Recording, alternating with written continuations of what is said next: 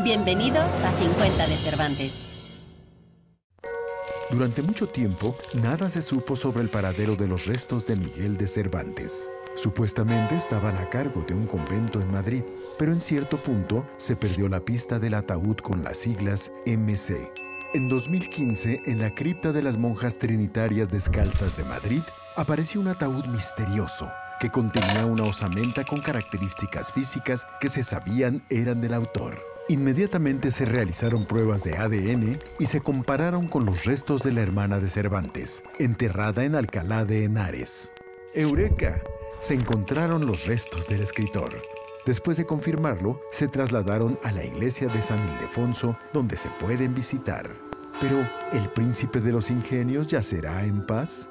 Los versos en su lápida sí son de la obra Los trabajos de Persiles y Sigismunda. El problema es que está escrito Segismunda, con E de enorme errata escandalosa. ¿Cómo ves? Esto fue 50 de Cervantes. Gobierno de México.